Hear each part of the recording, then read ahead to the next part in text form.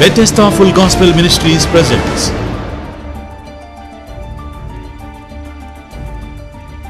బెతెస్త సంపూర్ణ సువార్త సహవాసం నిర్వహించు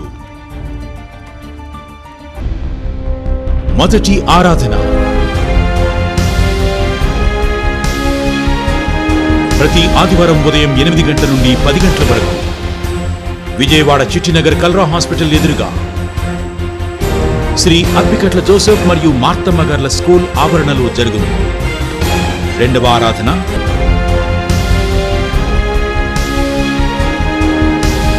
ప్రతి ఆదివారం ఉదయం పది గంటల నుండి మధ్యాహ్నం ఒంటి గంట వరకు. విజయవాడ కృష్ణలంక ఫైర్ స్టేషన్ ఎదురు డౌన్లో పెద్దివారి వీధి బెతెస్తా మందిరమందు జరుగును. మూడవ ఆరాధన.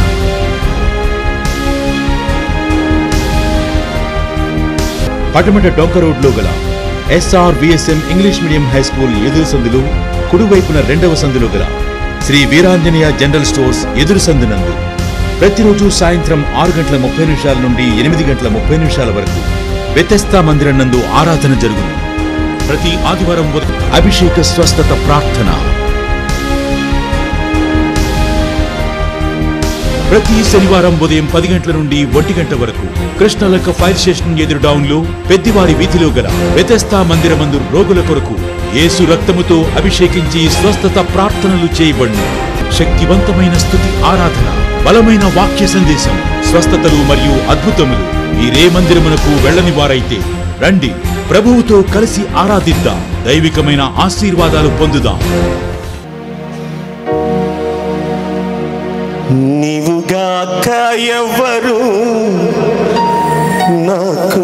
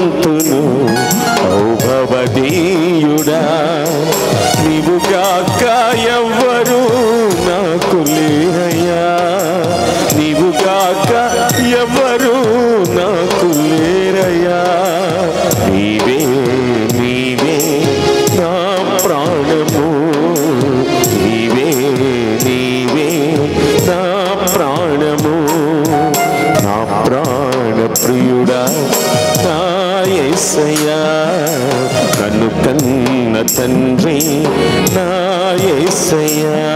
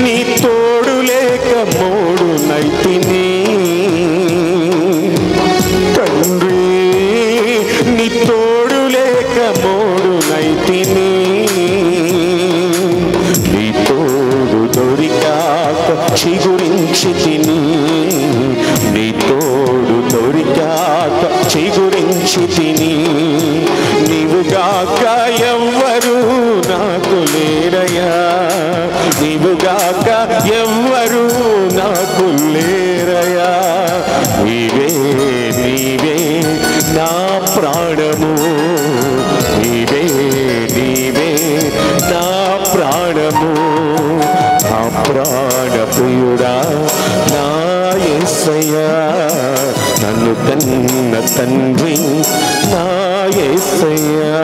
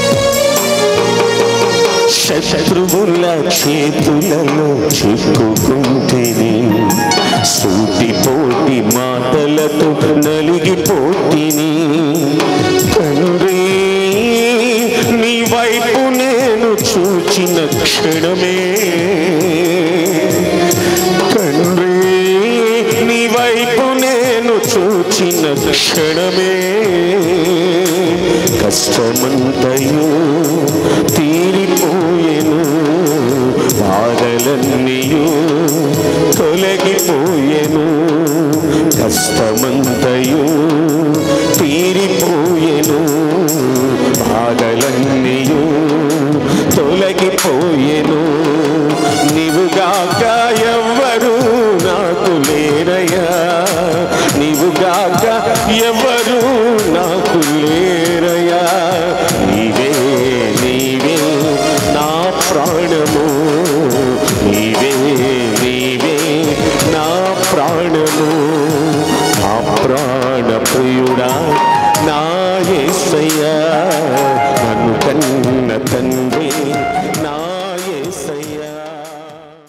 రోజు నుండి మీకు కూడా దేవుడు ఇచ్చును గాక పట్టజాలనంత విస్తారమైన దీవెనలు మీ జీవితాల మీద దేవుడు కృమ్మరించునుగాక. మీరు నమ్ముతున్నారా? Our God is unable God to provide us abundantly నమ్ముతున్నారా? దాని అర్థం చెప్తున్నా మన దేవుడు ఎంత సమర్థుడు అంటే మనము మనకు పట్టజాలనంత విస్తారంగా ఇవ్వగలిగిన సమర్థుడు. నమ్ముతున్న వాళ్ళు చెప్పలు కూడా దేవుని స్తోత్రం చేయలేచాను హలలోయ హలలోయ ఆయన అబండెంట్లీ ఇవ్వటానికి ఆయన సమర్థుడు. ఇక రెండవ మాట నేను చెప్తున్నానండి. అదేంటంటే ఏబిఎల్ఈ ఈ నాలుగులో మొదటిది అయిపోయింది రెండో దానికి వస్తున్నాను. ఈజ్ బౌంటిఫుల్లీ గివర్ బౌంటిఫుల్లీ అనే మాటకు అర్థం ఏంటంటే లిబరల్లీ అంటారు చూడండి ఫ్రీలీ అంటారు చూడండి జనరస్లీ అంటారు చూడండి. అంటే అది ఎలా అంటే కొంతమంది వాళ్ళ చేతికి ఎముక ఉండదండి అంటారు. మీరు ఇప్పుడు గమనించారా? చేతికి ఎముక ఉండదండి. బా చాలా ధారాళంగా చేస్తారండి. ఇది అంటే ఎలాగా? ధారాళంగా. అసలు ఎంత ఇస్తున్నారో ఎలా చేస్తున్నారో కూడా తెలియనంత ధారాళంగా వాళ్ళు అలా ఇవ్వగలగటానికి మనిషికి సత్తా లేదు కానీ ఆయన ఒక్కడే చేయగలడు అలాగా. హలలోయ ఆయన ఒక్కడే చేయగలడు. మనిషికి కొన్ని లిమిటేషన్స్ ఉన్నాయండి. అంతకన్నా ధారాళంగా ఇస్తే రేపొద్దు నీడు అడుక్కోవాలి. అది మనిషి పరిస్థితి. కానీ అలా ధారాళంగా ఇవ్వగలిగినోడు ఆయన ఒక్కడే. ఆయన గురించి ఓ మాట రాయబడింది ఆయన ఎలా ఇస్తాడంటే ఆయన దగ్గరికి వచ్చేవాళ్ళకి ఫిలిప్పీలకు రాసిన పత్రిక నాలుగవ అధ్యాయంలో పంతొమ్మిది వచ్చంలో కాగా దేవుడు తన ఐశ్వర్యము చెప్పున క్రీస్తు యేసునందు మహిమలో మీ ప్రతి అవసరత చూడండి చూడండి. అక్కడ ఏమండి దేవుడు తన ఐశ్వర్యం చెప్పున. ఎవరు ఐశ్వర్యం చెప్పున? మళ్ళీ చెప్పాలి ఎవరు ఐశ్వర్యం చెప్పిన? ఆయన ఎంత ఐశ్వర్యవంతుడు అంటే ప్రస్తుతానికి ప్రపంచంలో బిల్గేట్ ఐశ్వర్యవంతుడు అనుకుంటా. బిల్గేట్ ఐశ్వర్యవంతుడు. బిల్గేట్ని ఒక మీటింగ్కి పిలిచి హెచ్ఐవి ఉన్న వాళ్ళ మీటింగ్కి పిలిచి ఆ అవేర్నెస్ ప్రోగ్రామ్కి పిలిచి ఆయనకి మైక్ ఇచ్చి మా వాళ్ళు ఇదిగో మా భారతదేశంలో ఎంతమంది ఎఫెక్ట్ అయిపోయారు తల్లిదండ్రులు లేని వాళ్ళు అయిపోయారు ఇంతమంది పిల్లలు అనాథలు అయిపోయారని దాని గురించి కొంత మెసేజ్ ఇచ్చి ఆ తర్వాత ఆయన చేతికి ఇచ్చి మరి మీరు ఏం మాట్లాడతారంటే ఆయన కూడా మాట్లాడి మన భారతదేశంలో ఎయిడ్స్ పేషెంట్స్కి ఆయన ఇచ్చిన ఆ వరం ఎంత అంటే రెండు వందల యాభై కోట్ల డాలర్లు ఇచ్చాడంట అండి ఎయిడ్స్ పేషెంట్స్కి. ఎంత అండి రెండు వందల యాభై కోట్ల డాలర్లు. రూపాయలు కాదు. అంటే ఒక డాలర్ అంటే అరవై రూపాయలు. అట్లాంటి రెండు వందల యాభై కోట్లు ఇచ్చాడు. అంటే ఒకసారి ఊహించండి. ఓరి నాయనో. అంటే ఆయన ఐశ్వర్యం అలాంటిది. ఒకవేళ అదే హెచ్ఐవి పేషెంట్స్ తల్లి తండ్రి లేనోళ్ళు పిల్లలు అనాది పిల్లలు ఏదైనా మీ దగ్గరకు వచ్చి ఇవ్వమంటే మీరు ఎంత ఇస్తారు? కొంతమంది పది ఇచ్చేవాళ్ళు ఉన్నారు కొంతమంది వంద ఇచ్చేవాళ్ళు ఉన్నారు కొంతమంది ఐదు వందలు ఇచ్చేవాళ్ళు ఉన్నారు కొంతమంది వెయ్యి రూపాయలు ఇచ్చేవాళ్ళు ఉన్నారు. అది కూడా చాలా తక్కువ. ఇంతమందిలో ఒక వంద ఇచ్చేవాళ్ళు ఒక ఐదుగురు ఉంటే వెయ్యి ఇచ్చేవాళ్ళు ఒక్కళ్ళు కానీ ఇద్దరు కానీ ఉంటే పదివేలు ఇచ్చేవాళ్ళు ఒక్కలైనా ఉంటారంటే అసలు ఎవరు? అది మన స్థాయి. ఇప్పుడు ఎందుకు ఈ స్థాయి మాట్లాడుతుంటే క్షమించండి. మీ స్థాయి ఎంచడానికి కాదు ఇక నేను మాట్లాడేది. మానవునికంటూ ఒక స్థాయి ఉంది. ఆ స్థాయిని మించి ఇవ్వలేడు. కానీ దేవుని స్థాయి ఆయన అంత ఐశ్వర్యవంతుడు ముల్లోకాల్లో కూడా ఎవరు? ఆయన ఐశ్వర్యం చెప్పున ఆయన మహిమలో అలా చేయబెడతాడు. అలా మన అక్కర తీరుస్తాడండి. హలలోయ సమృద్ధి అంతే. అలా తీసి బైబిల్లో మాట రాయబడింది. ఆయన బైబిల్లో మాట పిలి విప్పి ప్రతి జీవి కోరికను తీర్చును అని రాయబడింది. అంటే ఆయన తన గుప్పిలి అలా విప్పి ప్రతి జీవి కోరికను తీర్చే దేవుడు. ప్రైజ్ అలాన్ ఈరోజు ఆయన గుప్పిలి ఎంత గొప్పదో ఎంత గొప్పదో. ఓసారంట ఒక చీమ. దానికి మాటలు వచ్చినాయి అంట జాగ్రత్త వినండి. చీమకి ఏమొచ్చినాయి? మనలాగా మాట్లాడే మాటలు వచ్చినాయి అంట ఆది గారి దగ్గర అలాంటి పెద్ద దగ్గరికి వెళ్ళి అమ్మ అమ్మ అమ్మ ఆది గారు నువ్వు చాలా ధర్మాత్మరాలవి పుణ్యాత్మరాలవి చాలా నువ్వు అట్లాగా చాలా ఎట్లాగా అని ఆ దగ్గరికి వెళ్ళి అమ్మా దాకా అంత దూరం వెళ్ళి ఇంత దూరం నేను రాలేకపోతున్నాను. చాలా కష్టం అవుతుంది ఈ లోపల ఎవరో ఒకరు తొక్కేస్తున్నారు. నాకు మామూలుగా ఉండలేదు కాస్త ఏమైనా కొన్ని కొన్ని బియ్యం గింజలు ఇయ్యమ్మా అని అడిగాను అడిగేటప్పటికి అప్పుడు ఆ ధర్మాత్మురాలకి ఒక ఆశ కలిగింది. ఏంటంటే సరే ఇస్తానులే అని ఆ- ఆమె దగ్గరున్న బస్తాల బియ్యంలో అలా చేయబెట్టి ఒక గుప్పిళ్ళు తీసి అలా వేసిందంట. ఇప్పుడు ఈ గుప్పులి ఎన్నాళ్ళు తింటుంది ఇది? చాలా కాలం వచ్చేస్తుంది. అంతేనంటారు కాదంటారు? ఆదిలక్ష్మ గారు గుప్పిళ్ళే ఈ జీవి కోరికను అంత కాలం తీర్చగలిగితే మన దేవుని గుప్పిలు ఇంకెంత పెద్దదో ఒకసారి ఊహించండి. ఆయన తన గుప్పిలి విప్పి ప్రతి జీవి కోరికను తీర్చే దేవుడు. హలలోయ హలలోయ గుప్పిలు విప్పాడంటే చాలు. మన మనకున్న కోరికలన్నీ తీరిపోతాయి. మనకున్న సమస్యలన్నీ తీరిపోతాయి. అలా జనరస్గా అలా లిబరల్గా లేకపోతే అలా ఫ్రీగా అంత బౌంటిఫుల్గా ఇవ్వగలిగిన వాడు ఆయన ఒక్కడేనండి. హలలోయ అంటారు చూడండి ఆ చేతికి ఎముక అనేది అసలు వాళ్ళు ఇవ్వగలిగినంత ఎవరు? ఈ రోజున దేవుడు మన కోసం అలా ఇవ్వటానికి స్థలానికి తెచ్చాడని నేను నమ్ముతున్నాను. అంత జనరస్గా ఇవ్వబోతున్నాడు ఈ రోజున. హలలోయ హలలోయ ఏమండి ఆయన ఇవ్వాలనుకుంటే ఆయన చేయాలనుకుంటే ఎలా చేస్తాడో మీకు మాట చెప్తా. మూడు రోజులు ఏకదాటి ప్రసంగం చేశాడు. ప్రసంగం అయిపోయింది. వీళ్ళందరికీ ఏదైనా పెట్టి పంపించాలి వీళ్ళని తృప్తిపరిచి పంపించాలి అనుకున్నాడు ఏసయ్య. అనుకొని ఫిలిప్ను పిలిచి వీళ్ళకి ఏదైనా రెడీ చేయన్నాడు అయ్యా ఇక్కడ అడవిలో ఉన్నాం కొండ మీద ఉన్నాం ఏం రెడీ చేస్తాం? వాళ్ళకి ప్రార్థించి పంపించే అన్నాడు. నూనెను వాళ్ళందరూ తృప్తిపరిచి పంపించాలి. ఎవరిని? ఇక్కడ కూడా మళ్ళీ చెప్తున్నాను. ఎవరిని తృప్తిపరచాలనుకున్నాడు ఆయన? ఇంట్రెస్ట్గా కూర్చొని మూడు రోజులైనా వాక్యం ఇంట్రెస్ట్గా విన్న వాళ్ళని. అంటే ఎవరిని తృప్తిపరచాలనుకుంటాడు తెలుసా ఆయన? శ్రద్ధగా వాక్యం వినటం అంటే దేవునికి చాలా ఇష్టం చాలా ఇష్టం. అయితే ఆ వాక్యం అంటే కష్టం అంటే దేవుడు మన కోరిక తీర్చలేడు. అక్కడ మూడు రోజులు ఏకదాటిగా కూర్చొని వింటున్న వీళ్ళ కోరిక తీర్చాలని వాళ్ళ ఆశలు తీర్చాలనుకున్నాడు. ఈరోజు మీ ఆశలు తీర్చబోతున్నాడు దేవుడు. మీ కోరిక తీర్చబోతున్నాడు. అది కూడా ఎలాగో చెప్పనా? మీరు ఊహించరు. మీరు ఊహించరు. అలా తీర్చబోతున్నాడు. అంత జనరస్గా అంత బౌంటిఫుల్గా అసలు అలా అలా విప్పాడంటే మీ కోరికలన్నీ తీరిపోతాడు అంతే. హలలోయ కాబట్టి అలా ఆయన తీర్చాలని అక్కడ అనుకోవడానికి గల కారణం మూడు రోజులు కూర్చొని పగలు రాత్రి కూడా తేడా తెలియకుండా వాళ్ళు కూర్చొని అలాగే విన్నారంట. విన్నారు విన్నారు విన్నారు. మూడు రోజులు అయిన తర్వాత ఇప్పుడు అన్నాడు వీళ్ళ కోరికలు తీర్చి పంపించాలి వీళ్ళ తృప్తిపరిచి పంపించాలి అనుకుంటున్నాను అన్నాడు. ఏమీ లేదు అక్కడ. అక్కడ ఒక చిన్న మూట తీసుకొచ్చి ఐదు రొట్టెలు రెండు చిన్న చేపలు ఉన్న మూట తీసుకొచ్చి ఆయన చేతిలో పెట్టారు. దాన్ని ఆయన తీసుకున్నాడు వాటిని బ్లెస్ చేశాడు. ఏమండి దేవుడు నీకున్న చిన్న మొత్తాన్ని బ్లెస్ చేస్తే నీ అవసరతలన్నీ తీరగా ఇంకా మిగిలినట్టుగా దేవుడు చేయగలడు. అది ఆయన ఒక్కనికే సాధ్యం. ఏమండి నీకున్నది చిన్న మూట కావచ్చు నీ అక్కర తీరడానికి ఇంపాసిబుల్ కావచ్చు కానీ ఆ చిన్న మూటనే దేవుడు బ్లెస్ చేస్తే చాలు పరిస్థితి మారిపోద్ది. ఆయన ఆ చిన్న మూటను బ్లెస్ చేశాడండి. బ్లెస్ చేసి వాటిని అక్కడ ముక్కలు చేసి కుప్పగా వేశాడు. ఇప్పుడు ఈ కుప్ప తీసుకెళ్ళి పెట్టని అన్నాడు. అది కూడా ఎలాగో చెప్పిన? తృప్తిగా ఎవడు కొరతగా వెళ్ళకూడదు ఇక్కడ నుండి. తృప్తిగా అందరికి పెట్టండి అన్నాడు. వారు తీస్తున్న కొలది ఆ కుప్ప ఏమవుతుంది? పెరిగిపోతా ఉంది. ఎంత పెరిగిపోయిందంటే చివరి వ్యక్తి వరకు ఇక చాలు బాబు నా వల్ల కాదయ్యా ఇక చాలు అనే వరకు వాళ్ళందరికీ తృప్తిగా పెట్టిన తర్వాత ఇప్పుడు ఎంత మిగిలింది అక్కడ? ఇంకా పన్నెండు గంపలు. అసలు ఇంతకు ముందు అక్కడ ఉన్నది ఎంత? ఐదు రొట్టెలు రెండు? ఒక గంపకు ఒక మూల కూడా రానంత మొత్తాన్ని అందరూ తినగా ఇంకా పన్నెండు గంపలు మిగిలేటట్టు చేశాడంటే అది ఆయనకు ఆయన మాత్రమే సాటి. హలలుయా హలలుయా మన దేవుడు అలా ఇవ్వగలిగిన గివర్ అండి ఆయన. బౌంటిఫుల్ గివర్ అని అందుకే ముందే చెప్పాను. ఆయన అలా ఇవ్వగలిగిన సామర్థ్యం ఆయనకే ఉంది. ఈరోజు ఎలా ఉంది మీ పరిస్థితి? చాలి చాలని జీతాలతో. చాలా ఇబ్బందులు పడుతూ. ఈ బతుకు బండిని ఈడ్చుకు రాలేక మీలో మీరు నలిగిపోతూ సతమతమైపోతున్నారా? మీ చిన్ని మొత్తాన్ని దేవుడు ఈరోజు ఆశీర్వదించబోతున్నాడు. మీ చిన్న జీతాన్ని దేవుడు ఆశీర్వదించబోతున్నాడు.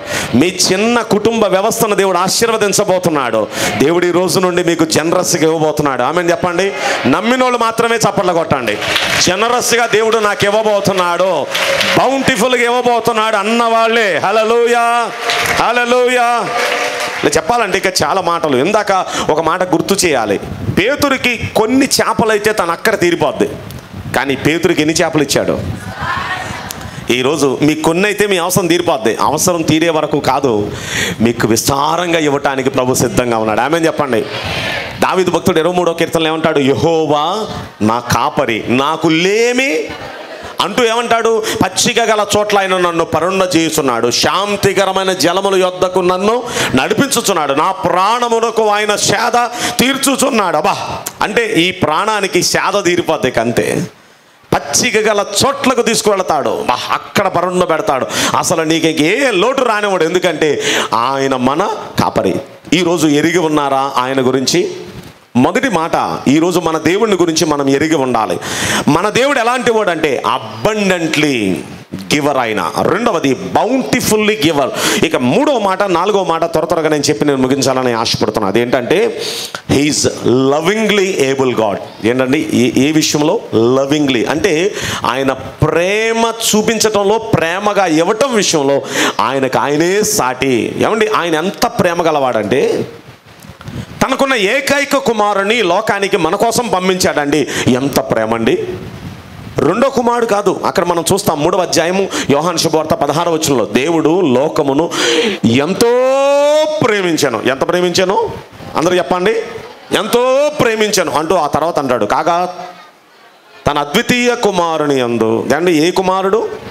అద్వితీయ అంటే దాని అర్థం ఏంటి? ద్వితీయుడు కాని. అంటే రెండో వాడు కాదు వన్ అండ్ ఓన్లీ వన్ తన అద్వితీయ కుమారుని యందు విశ్వాసం ఉంచు ప్రతి వాడు నశింపక నిత్య జీవము పొందినట్లు దేవుడు ఆయనను మనకు అనుగ్రహించను. అంటే ద్వితీయుడు కానీ ఏకైక కుమారుణ్ణి మన కోసం దేవుడు పంపించాడండి. ఎందుకంటే ఆ దేవుడు మనల్ని ప్రేమించి. ఇప్పుడు ఆ ఏకైక కుమారుడు ఏం చేశాడు తెలుసా? తనకున్న ఒక్కగానొక్క ప్రాణాన్ని మనందరి కోసం ఇచ్చేశాడండి. అంటే దేవుడు ప్రేమ అంటే ఏంటో దాని నిర్వచనం చెప్పాడు. అదే యోహాన్ రాసిన మొదటి పత్రిక మూడవ అధ్యాయంలో పదహారో వచనంలో అంటాడు దేవుడు మన కోసం తన ప్రాణం పెట్టాను. ప్రాణం పెట్టును అంటే అక్కడ ఒక మాట అంటాడు. ఇందును బట్టి ప్రేమ అంటే ఏంటో మనకి తెలుస్తుంది. అంటే ప్రేమకు నిర్వచనం ఏంటో చూపించాడు. ఎంత ప్రేమ అంటే ప్రాణమే పెట్టేశాడు. ఎలాంటి పరిస్థితులు ఉండగా మనం ఇంకను దేవుని ప్రేమ మన ఎడల వెల్లడి అయింది. అది ఎట్లనగా మనం ఇంకను పాపులమై ఉండగా ఆయన మనల్ని ప్రేమించాను. ఐదవ అధ్యాయం ఎనిమిదో వచ్చిన అనుకుంటా రోమా పత్రికలో ఈ మాట మనం చూస్తాం. అంటే ఇంకా పాపులుగా ఉండగానే మన కోసం ప్రాణం పెట్టాడు. ఎంత ప్రేమ గలవాడండి. మన మంచోళ్ళమని కాదు ఆయన మన మనల్ని ప్రేమించడానికి గల కారణం మన అర్హతలు కాదు. మనం ఇంకా పాపులుగా ఉండగానే ఆ కింద అంటాడు మనం బలహీనమై ఉండగా ఆయన మనల్ని ప్రేమించాడు. ఆవిడ మన పట్ల ఆయన చూపించిన ప్రేమ ఎంత గొప్పదంటే ఆయన ప్రేమను గురించి మీకు చెప్తున్నాను. మనల్ని ధనవంతులు చేయాలనిపించింది ఆయనకి. ఆయన ధనవంతుడు ఆయన ధనంలో ఆయన లాంటివాడు ఎవరు లేరు. ఆయన అంత ధనవంతుడయ్యండి. మీరు తన దారిద్ర్యం వలన ధనవంతులు కావాలని మీకోసం దరిద్రుడు ఆయను అనే మాట మనం చదువుతాం. అంటే మనల్ని ధనవంతులు చేయడానికి ఆయన దరిద్రుడైపోయాడంట. ఎవరైనా ఎంత ప్రేమించిన వాళ్ళు ఉన్నారా? మనల్ని బ్రతికించడానికి ప్రాణం ఇచ్చిన ప్రేమ ఆయనది. మనల్ని ధనవంతులు చేయడానికి మన కోసం దరిద్రమైపోయిన ప్రేమ ఆయనది. ఇంకో మాట ఆశీర్వాదానికి మనల్ని వారసులుగా చేయాలనుకున్నాడు. ఆ వారసులుగా చేయాలనుకొని ఆయన చేసిన పన్నెండు చెప్పన? మన మన కోసం ఆయన శాపగ్రస్తుడై మనల్ని ఆశీర్వాదానికి వారసులుగా చేశాడు. వా ఏం ప్రేమ అండి అసలు? ఎవరైనా ఇలా ప్రేమించే వాళ్ళు మీకున్నారా? మీ తల్లిదండ్రులు కానీ మీ అన్నదమ్ములు కానీ మీ బంధువులు కానీ మీ స్నేహితులు కానీ ఇంత ప్రేమ ఎక్కడైనా చూచారా? ఎవరైనా మనల్ని ప్రేమించారు. మనల్ని స్వస్థపరచడానికి ఆయన దెబ్బలు పట్టడం ఏంటండి? మనకు అవమానాలు తొలగించడానికి మన కోసం ఆయన అవమానాలు భరించడం ఏంటండి? మనకు మహిమ వస్త్రాలు ఇవ్వడానికి ఆయన వస్త్రహీనుడు అవ్వటం ఏంటండి? మనకి ఈ జీవ కిరీటాన్ని ఇవ్వటానికి ఆయన ముళ్ళ కిరీటం ధరించడం ఏంటండి? మన ధనవంతులు చేయడానికి ఆయన దరిద్రుడు అవటం ఏంటండి? ఏమండి? మనల్ని ఆశీర్వాదానికి వారసులు చేయడానికి మన కోసం శాపగ్రస్తులు అవటం ఏంటండి? ఇంకొక మాటలో అల్టిమేట్గా చెప్పాలంటే మనల్ని నిత్య జీవం పొందటానికి జీవింప చేయటానికి మన కోసం ఆ మరణంలోనికి ఆయన వెళ్ళిపోవటం ఏంటండి? ఎంత ప్రేమ ఎవరి దగ్గరైనా చూచారా? ఆయన ఎంత ప్రేమ అంటే ఈజ్ లవింగ్లీ ఏబుల్ గాడ్ చప్పలు కూడా ఒకసారి దేవునికి స్తోత్రం చేయలేదాం హలలోయా హలలోయా ఇప్పుడు ఆ దేవుడు గురించి ఇంకొక మాట కొంచెం ముందుకు చెప్తున్నాను చూడండి. ఎప్పుడు రాసిన ఏడవ అధ్యాయము ఇరవై ఐదో వచ్చిన ఒకసారి చూడండి. ఈయన తన ద్వారా దేవుని యొద్దకు వచ్చు వారి పక్షమున విజ్ఞాపనము చేయుటకు నిరంతరము జీవించుచున్నాడు కనుక వారిని సంపూర్ణముగా రక్షించుటకు శక్తిమంతుడై ఉన్నాడు సమర్థుడై ఉన్నాడు. ఈ దేవుడు ఎలాంటి వాడంటే ఇప్పుడు ఇన్ని చేసిన దేవుడు తన ద్వారా దేవుని వద్దకు వచ్చు వారి పక్షమున ఆయన నిరంతరం ఏం చేస్తున్నాడంట? మనము ఎవరి ఎవరి పేరు చెప్పుకొని ప్రార్థన అంతా చెప్తాం. ఈ మనవులన్నీయో ఏసు నామమున ఎవరి పేరు చెప్తున్నాం? ఎవరికి చెబుతున్నాం? తండ్రికి చెప్తున్నాం ఈ మనములన్నీ యేసు నామమున అడుగుచున్నాం తండ్రి. అంటే ఇప్పుడు ఆయన ద్వారా తండ్రి దగ్గరికి ఎవరైతే వచ్చి ప్రార్థన చేస్తారో వాళ్ళందరి తరపున ఇప్పుడు ఆయన విజ్ఞాపన చేస్తాడంట అయ్యా ఏసురత్నం గారయ్యా ఆయన కాపాడయ్యా అని ఇప్పుడు ఈయన ఎవరి పేరు చెప్పారు? ఏసైన గురించి చెప్పారు. యేసు ద్వారా వచ్చానయ్యా నీ దగ్గరికి. ఇప్పుడు ఆయన విజ్ఞాపన చేస్తారంట అయ్యా ఈయన నా మనిషేనయ్యా ఈయన కాపాడయ్యా. ఇప్పుడు మనందరం ఎవరు మనుషులు? ఆయన తరపు వాళ్ళం. మన తరపున ఆయన విజ్ఞాపన చేయటానికి నిరంతరం మన పక్షాన తండ్రి దగ్గర ఉన్నవాడు ఆయన. హలలోయ ఆయన ఏబుల్ ఆయన ఏబుల్. ఎంత ప్రేమామయుడు అండి ఎంత ప్రేమామయుడు. రోమిలకు రాసిన పత్రిక ఎనిమిదో అధ్యాయంలో ముప్పై రెండో వచనంలో మనం పరిశీలిస్తే ఇట్లుండగా ఏమందును? దేవుడు మన పక్షమున ఉండగా మనకు విరోధెవడు? తన సొంత కుమారుని అనుగ్రహించుటకు వెనుక తీయక మనందరి కొరకు ఆయనను అప్పగించిన వాడు ఆయనతో పాటు సమస్తమును మనకెందుకు అనుగ్రహింపడు? సమస్తం ఎందుకు ఇవ్వడం? దేవుణ్ణి ఇచ్చేశాడు అన్నీ ఇచ్చేశాడు. ఇప్పుడు ఎంత ప్రేమించేవాడు మీరు అడగాలే కానీ మీకు అన్ని సమస్తం ఇస్తాడు. కాబట్టి ఈరోజు మీరు నమ్మండి హీఈస్ లవింగ్లీ ఏబుల్ గాడ్ అంటే ఎంత ప్రేమించటంలో ఆయన ఆయన లాంటి ప్రేమ మరి ఎవరి దగ్గర?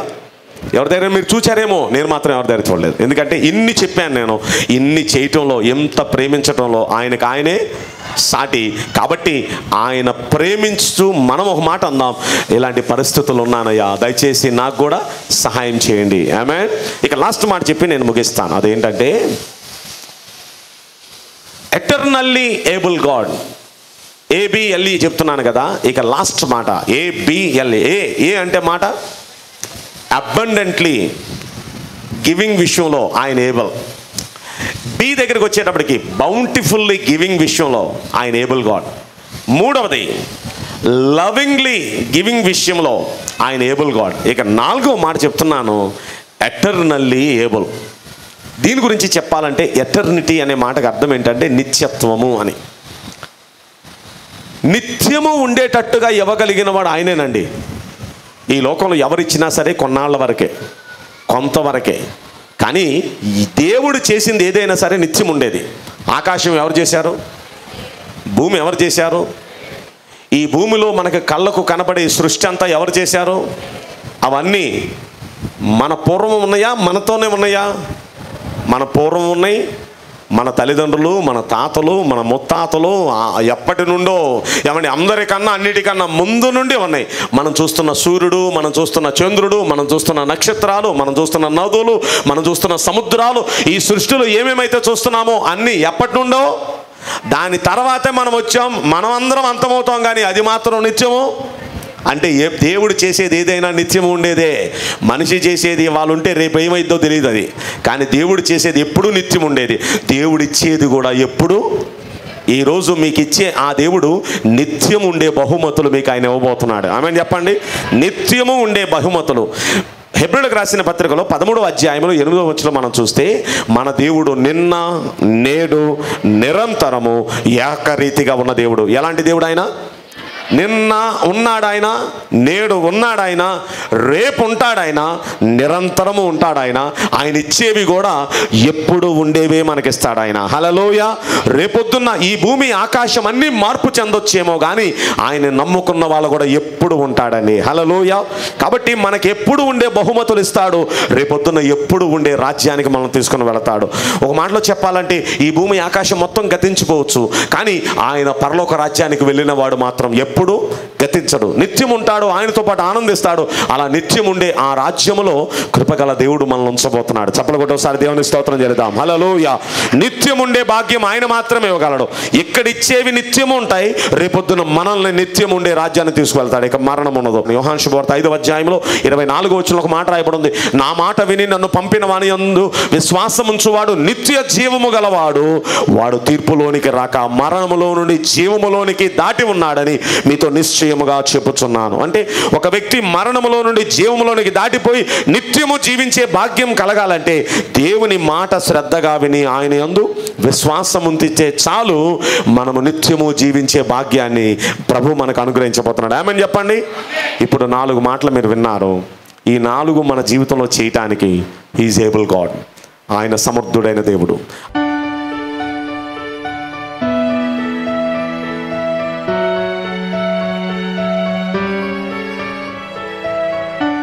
స్వస్థత అభిషేక కోడికలు ప్రతి మంగళవారం సాయంత్రం ఆరున్నర గంటల నుండి తొమ్మిది గంటల వరకు చిట్టినర స్కూల్లో జరుగును. ప్రతి శుక్రవారం సాయంత్రం పటమట చర్చిలో ప్రతి శనివారం ఉదయం పది గంటల నుండి ఒంటి గంట వరకు కృష్ణలంక చర్చిలో జరుగును. స్తుతి ఆరాధన అభిషేక ప్రార్థనలు బలమైనటువంటి వాక్య సందేశం జరుగును.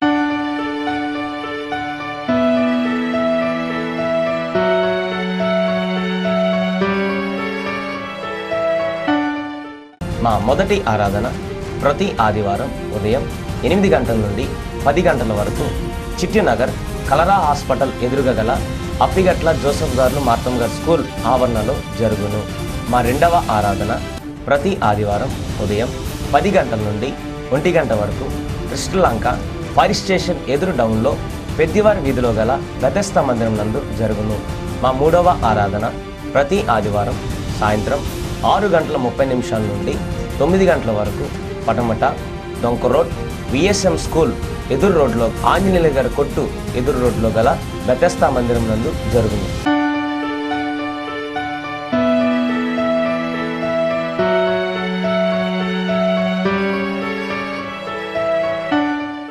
స్త్రీల కోడికలు ప్రతి నెల రెండవ వారంలో సోమవారం కృష్ణలంక చర్చిలో బుధవారం పటమట్లో గురువారం చిట్టినార్ చర్చిలో ఆరున్నర గంటల నుండి తొమ్మిది గంటల వరకు జరుగును. ఈ కూడికలకు మిమ్మల్ని ప్రత్యేకముగా ఆహ్వానించుచున్నాము. అందరికీ వందనాలు.